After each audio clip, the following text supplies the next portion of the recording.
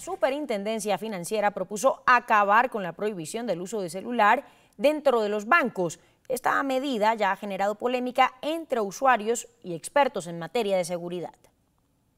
La Superintendencia Financiera propuso permitir el uso de celulares dentro de los bancos para aprovechar mejor la tecnología. Sin embargo, en lo corrido de 2018 se han registrado 967 hurtos a entidades financieras mediante la modalidad de fleteo. Según expertos, esta medida aumentaría la inseguridad. Ellos parten, por ejemplo, algunas experiencias como en Argentina o en otros países del mundo donde, la, según ellos, pues la delincuencia no está vinculada a la posibilidad de conectarse. Sin embargo, en Colombia tenemos varios fenómenos que siguen emergiendo.